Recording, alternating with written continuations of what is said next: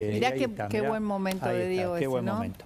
Bueno, gracias, gracias Diego, eh, muchísimas gracias. Bueno, y hoy es eh, la mañana de los Diegos, porque ahora saludo a Diego Córdoba, que es especialista en vuelos espaciales. Hola Diego, eh, ¿qué tal? ¿Cómo estás? Buen día. Hola Eduardo, ¿qué tal? Buen día. Buen día, buen día. ¿Qué momento este momento donde tenemos, a ver, este, un viaje, pero es privado, ¿no? Y tripulado por Contanos vos, Diego. Así es, es un vuelo 100% privado, o sea, eh, no son cuatro astronautas profesionales ni de la NASA ni de ninguna agencia espacial, tampoco son, se puede decir civiles porque los astronautas son civiles, muchos, no todos, pero estos son cuatro, se puede decir, astronautas no profesionales, o sea, son empresarios que han salido de las distintas actividades privadas y han recibido un entrenamiento básico como astronautas, son cuatro ellos, y vuelan en una nave que tampoco es de la NASA ni de ninguna agencia, es de SpaceX. O sea que es una empresa privada como Axiom contrató a otra empresa privada que es SpaceX, la dueña de la nave, para hacer un vuelo totalmente privado. Ya ha sucedido algo así en septiembre del año pasado, pero este es el primero que además va a acoplar a la Estación Espacial Internacional, donde hay en este momento una expedición de siete astronautas de Estados Unidos, de Rusia y de Alemania, y se van a sumar estos cuatro que eh, van a, por unos ocho días más o menos, va a haber 11 tripulantes a bordo de la Estación Espacial, lo cual es algo histórico que a un complejo espacial como la Estación Espacial Internacional, que de hace 20 años funciona con astronautas profesionales, de pronto llega una nave privada tripulada por cuatro personalidades privadas. Digo, contame, eh, desconocimiento absoluto, por lo menos de mi parte, eh, un privado, si tiene los recursos, si tiene todo, no tiene prohibición de viajar al espacio, de hacer lo que quiera, o hay ciertos requisitos que regula quién? Bueno, por un lado es eso que decís, porque está bien, eh, la, lo que tiene de histórico y de nuevo, esto que es una nave privada con cuatro tripulantes, los cuatro privados, ¿no? Mm. Pero el tema del turismo espacial ya hace más de 20 años que existe. A veces ha pasado que un turista espacial estaba, digamos, colado en, una tripulación profesional. ¿Por qué? Porque tenía el dinero suficiente para pagar su sitio, su butaca y tener una condición de salud normalmente saludable para resistir un entrenamiento y una breve estadía en el espacio de una semana más o menos. Sí, sí, sí, Pero bueno, eh, también es cierto que ellos están yendo a un complejo espacial como la Estación Espacial Internacional que está regulada por la NASA, eh, Roscosmos, la Agencia Espacial Rusa y la Agencia Espacial Europea, y es un lugar que no es para turismo. Es un lugar donde se realizan experimentos. ¿Qué, es, por eso? ¿Qué es ese complejo espacial? Vos llegás ahí, ¿qué encontrás? Lo que vemos en imagen ahora, por ejemplo, gente trabajando, ¿qué, qué se encuentra ahí? Claro, bueno, casualmente lo que estamos viendo en, este momento en ah. imagen es el centro de control, no es Houston, ¿eh? es el centro de control de SpaceX en ese momento. Pero lo que uno se encuentra cuando llega a la estación espacial va a haber eh, gente que está trabajando, astronautas profesionales, que están trabajando sobre experimentos que fueron encargados o por la NASA, o por la Agencia Espacial Europea, o por Rusia, o por entes eh, científicos, universitarios y, empresarios también, ¿verdad? ¿Qué quiero decir con esto? Que es un lugar donde se trabaja permanentemente, donde existen eh, dispositivos delicados y no es un lugar donde se pueda andar libremente flotando como un hotel en vacaciones, ¿no? Eso quizás un poco lo, que esgrime lo que estén en, contra del turismo espacial. Por otro lado, a estos empresarios que están viajando hoy al espacio, eh, no les gusta que le digan turistas espaciales, porque ellos dicen, y es verdad, tuvieron un entrenamiento básico de astronauta y van a realizar algunos experimentos encargados por la propia empresa privada que los puso allí, ¿verdad?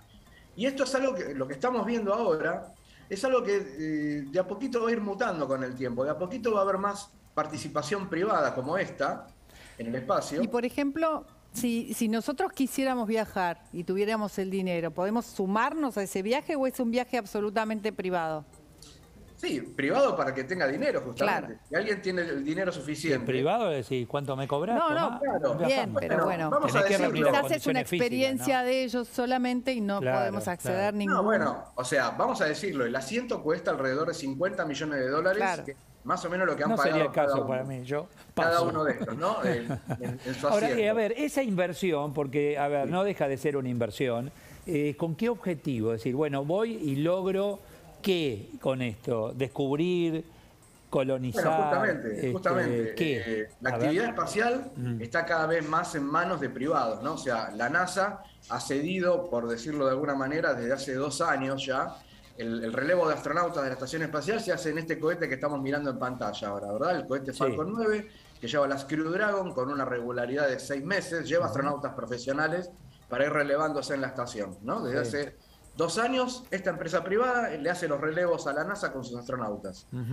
Y este dinero que sale, digamos, de estas actividades privadas justamente contribuye a que una empresa privada como SpaceX no solamente esté participando en los relevos de la estación espacial, ¿verdad? O sea, con la inversión que hacen, ahora está participando en el programa lunar Artemisa, que es el programa lunar que ya se viene ahora, si bien es un programa de la NASA, hay amplia participación de empresas privadas en esto, ¿no? ¿Y cómo hacen el dinero? Por un lado, con esta participación de, de empresarios. Sí. El dinero que ellos ponen, obviamente, contribuye a que se siga expandiendo. Está perfecto, y está, y está muy bien. Eh, me decías que esto que estamos viendo está bien puesto, vivo la NASA, ¿la NASA esto o no? ¿O me estás hablando? No, ah. esto que estamos viendo acá es el centro de control de SpaceX que está en California. Ajá. Que vendría a ah. ser el, Houston privado, o sea, el Houston privado. Mirá. Houston, Y este que estamos viendo ahí, ah. como pueden ver, tiene una forma muy minimalista. Ya no, vemos esas grandes computadoras que se veían en Houston. Yo te digo, eh, fui hace unos años a Houston y visitar Houston y visitar esos predios gigantes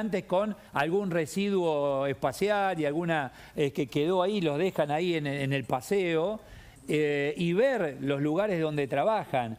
Y bueno, te sacás no un sombrero, varios sombreros, eh, Diego. Vos lo debes conocer perfectamente, sos estudioso de estos temas. Contame lo que estamos viendo ahora allí en imagen. Esto es en vivo. Esto es en vivo ahora, esto es en vivo ahora. Esa nave que está ahí es la, la, Endeavour, mm. Endeavour se llama. Esta nave ya ha volado al espacio con astronautas profesionales y ahora está eh, a, unos 20 metros de la estación espacial en este momento, eh, lista para acoplarse a la estación. Pero en este mismo instante, tenemos, por decirlo, una noticia de último momento, porque la nave esta ya se tendría que haber acoplado hoy a las 8 menos, eh, perdón, a las 9 menos cuarto, hora argentina. O sea, ya se tendría que haber acoplado hace 45 minutos y está ahí estacionada a 20 metros, se está acercando muy lentamente, más lento de lo que debería, porque eh, está fallando un, sistema de guiado, pero no el sistema de guiado de la nave, sino el sistema de guiado de la estación espacial. Los dos sistemas se tienen que eh, poner, digamos. O sea, no es un tema de lo que se está operando desde tierra, sino en la estación espacial. Exacto. O sea, tiene que haber tres sistemas funcionando bien: el de la nave para orientarse hacia la estación, el de la estación para tener bien orientada la nave y el, de, el control de misión en tierra. El de la nave que estamos viendo ahora y el de control en tierra están funcionando perfectamente. Está con algunas fallas el sistema de orientación de la estación espacial que tiene que recibir a esta nave que estamos viendo, a la Crew Dragon eh, Endeavour. Eh, así que bueno, la maniobra... ¿Y tiene algún riesgo? O sea, ¿tienes tiempos calculados con límite o no podés esperar sin inconvenientes? Eh, en este momento eh, pueden esperar hasta unas dos horas más o menos. Tampoco pueden estar ah. eternamente allí, ¿verdad? Porque si no eh, se empezarían a comprometer los sistemas de orientación, el sistema de, vida de los astronautas. Ajá. ¿Por qué? Porque se termina el oxígeno, porque termina... No, claro, o sea, termina no, solo el oxígeno, sino también la autonomía de la nave. La autonomía de la nave.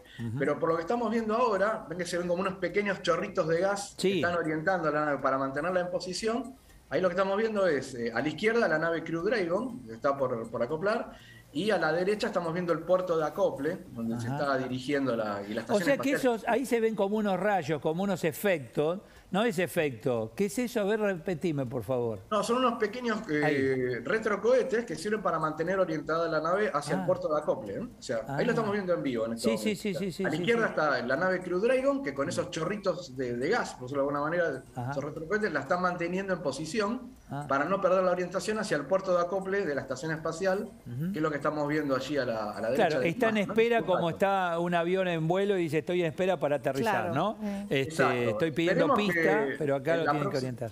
Claro, esperemos que en la próxima hora se, vaya solucionando esto. Mm. Eh, ahí vemos que se está acercando cada vez más, o sea, hay un pequeño retraso en esta maniobra, pero parece que se está cumpliendo con... Diego, eh, vos como especialista en vuelos espaciales, eh, ¿qué momento se está viviendo de la historia de la humanidad en relación a tu actividad? Bueno, varios momentos simultáneos al mismo tiempo. Por un lado, esto que te comentaba, la participación privada cada vez eh, con, mayor auge, ¿no? En las actividades espaciales. Y esto realmente es un logro. O sea, yo no considero que los astronautas vayan de vacaciones ni a divertirse. Al contrario, eh, se van a realizar algunos sencillos experimentos durante los ocho días que van a estar. Y la participación privada eh, ha dado un impulso a la NASA, o sea, al, ente gubernamental espacial por excelencia, ¿verdad? ¿Por qué? Porque la fortaleza de una, empresa privada espacial que se dedica a esto es justamente eh, el abaratamiento de los costos. La empresa privada SpaceX ha logrado hacer con un 10% de, de, lo que hacía la NASA lo mismo. ¿no? Entonces uno dice, ¿dónde está la trampa? ¿Por qué SpaceX puede gastar 10 veces menos que la NASA y hacer lo mismo? Porque justamente puede reutilizar los cohetes, puede reutilizar muchos recursos y usarlos de nuevo. O sea, esta nave que estamos viendo ahora ya voló otras dos veces antes, no es la primera vez que vuela. Y el cohete que la impulsó también ya fue utilizado y reutilizado un montón de veces. Históricamente hablando, un cohete, cualquier cohete, es la parte más cara de una nave espacial. Si se logra reutilizar eso, ya estamos hablando de un, retorno. Con esto confirmamos que la actividad privada este, siempre es más eficiente que lo público, ¿no? Sí, además abarata, eh, digamos, construye, puede llegar a abaratar los costos. Te, quería preguntar, ¿cuáles son esos experimentos que pueden ser, que pueden aportar, que se van a hacer con esto? Bueno, la gran mayoría de los experimentos eh, incluye eh, temas que tienen que ver con, medicina, por ejemplo, o con mezcla de distintos compuestos que quizás en la Tierra son más difíciles de hacer y en el espacio, con el tema de la ingravidez, son más, son más fáciles de mezclar, ¿no? Y se pueden obtener eh, elementos nuevos, ya sea a nivel industrial o eh, a nivel, eh, digamos, bioquímico, por ejemplo. la experimentación está permanentemente, digamos, vigente desde hace más de 20 años de que existe esta estación espacial y otras estaciones espaciales anteriores. ¿no? se estudian a veces largas permanencias, estos astronautas van a estar un poquito tiempo, ocho días nada más. Pero hay astronautas que se quedan más tiempo, seis meses y hasta casi un año incluso a bordo. Mira vos. Las largas permanencias sirven para ver. A ver perdón que interrumpo, perdón que te interrumpo, pero ahí estamos esperando el momento, ¿no? Sí, ya, ahí ya está, ya está, ya está encastrando. Los momentos finales, ahí está la. Relatalo vos, dale, contanos qué estás viendo, qué, qué, qué, qué estamos viendo. A ver. Bueno, lo que estamos viendo ahora es la nave Endeavour, que llega nuevamente a la estación espacial. Eh, se está acercando al, puerto de, acople, que está, es el puerto de acople designado para esta, para esta nave. Lo que vemos que ha desplegado, digamos, la tapa del puerto de acople, la nariz, ya la ha desplegado para dejar al descubierto el puerto de acople. Esto lo estamos viendo en vivo, está ocurriendo ahora. ¿Y esta ¿eh? imagen se toma como? ¿Desde dónde? ¿Desde el centro de operaciones de...? Se toman desde la, primero desde las cámaras de la estación espacial, sí. están mostrando este momento, que esto está ocurriendo en vivo ahora mismo. Y esto, eh, bueno, se envía a Houston y se retransmite por una señal que se llama NASA TV, que, bueno, eh, ahora puede ser vista incluso en las redes en, vivo, ¿verdad? Así que, bueno, ahí estamos viendo, ¿eh? Ah. Uy, ahí va, ahí va, Buenísimo. Llegan al módulo, este es el nodo, el módulo Harmony, se llama, de la Estación Espacial Internacional. Mm. Y hemos, estamos viendo ahí que es un acople perfecto, ¿no? O sea... Sí, hasta ahora ahí, ahí está este, en estos casos, el morbo de la gente, el ser humano, espera que no acople. ¿viste? igualmente. Eh, eh, sí, claro, estás esperando que algo falle, pero no va a ser el caso. Y contanos, a ver. Estamos viendo que, eh, bueno, el, acople fue, bastante suave. En un rato van a tener que chequear ¿Ya está el acople? ¿Ya está? ¿Ya es un éxito? No, no, no, todavía, no. no. Ah. Estamos viendo en vivo en este momento que fue un acople bastante suave y aparentemente eh, si bien fue perfecto en el, tema del posicionamiento, eh, aparentemente no, no, se produjo herméticamente. Ahí ah. vemos que hay un, leve retroceso, eh, aparentemente lo van a intentar de vuelta. Porque ¿qué pasa? Cuando hay un acople entre dos naves, siempre tiene que haber una especie de cerrojos que se activan automáticamente y luego tiene que ser una prueba de hermeticidad claro. para comprobar de que esto sea seguro para el paso de los astronautas desde la nave hacia la estación espacial. Ahí lo que, a ver, a simple vista se ve que todavía no está acoplado, hay un espacio entre uno y otro. Exacto, evidentemente esto tiene que ver con lo que veníamos contando hace un ratito, que es el sistema de guía ah. que está en el, en el puerto de acople de la estación espacial, ¿no? O sea, Dijimos hace un rato que la nave está perfectamente bien, los sistemas de guía están perfectamente bien y en la Tierra también, pero evidentemente hay un pequeño eh, fallo de orientación que se tiene que, digamos, coordinar ah. y evidentemente esto no estaría pasando. Diego, eh, ¿qué pasa cuando esta parte de la nave tiene que salir y regresar? ¿O queda ahí? ¿Regresa? Bueno, no, esta nave, eh, así como hoy la estamos viendo llegar, dentro de ocho días la vamos a ver regresar. Bueno, pero para regresar tiene que salir de ahí, acoplarse y regresar. ¿Cómo tiene todo un sistema que la van a buscar? ¿Cómo, cómo funciona?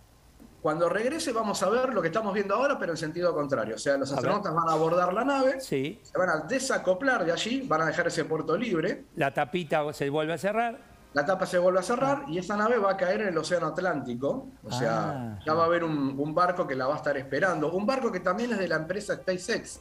O sea, quiero dejar en claro que la, empresa SpaceX ha construido la nave, ha contratado, bueno... Este Esta es la empresa de Elon Musk, ¿no? Es la empresa de Elon Musk, exactamente. Ah. Exactamente. Que fue noticia en estos días por otras cosas, pero, pero hay que entender qué es esto.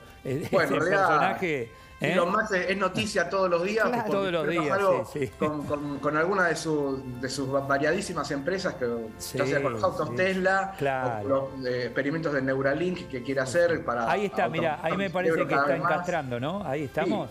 Sí, sí, sí, ahora sí. Ahora sí, ahora se puede decir que tenemos un acople total. Un acople. Eh, queda ver todavía eh, pruebas de hermeticidad, o sea, no van a pasar inmediatamente, va a pasar una especie de una hora y media más o menos, hasta que los astronautas puedan sacarse los trajes que tienen puestos en este momento y pasar a la estación espacial y reunirse con los otros siete astronautas que ya deben estar ansiosos, lo deben estar esperando, porque esto se está produciendo con casi una hora de retraso. ¿A qué distancia de la Tierra estamos observando esto? Bueno, la estación espacial está a unos 400 kilómetros de altura. O sea, es una órbita más bien baja, ¿no? Una órbita baja se le dice a esto. O sea, que es como ir de acá a Mar del Plata, pero para arriba. y, como es el objeto más grande construido por el ser humano en la estación, en, el espacio, digamos, y está una órbita más bien baja cada vez que pasa. Claro, claro. Ahí se la puede ver a simple vista. ¿eh? Muy bien, Diego, la verdad este, nos has contado detalles de esto que uno lo ve es decir, bueno, pero este, gracias a Leandro, nuestro productor ejecutivo, amigo tuyo de Facu, él aprendió menos de esto que vos, pero bueno, este, tomó. No es fácil comandar esta nave, ¿eh? No creas, ¿eh? Un abrazo para Leandro y para todos bueno, ustedes. Bueno, gracias Diego, muy amable. Diego, Córdoba, especialista en vuelos espaciales. Vos sabés que mientras observaba, viste, eh, con el gas que iban, le iban dando el sentido, la orientación, para, eh, viste, el otro día vi, y se las recomiendo, la película Eiffel. La historia de Eiffel, una historia romántica, en medio está bueno, pero ¿qué pasa? La torre Eiffel está al lado del Sena. Y el suelo es esponjoso, es movedizo, etc. Entonces armaron cajones con aire comprimido y eso hace que estabilice la torre.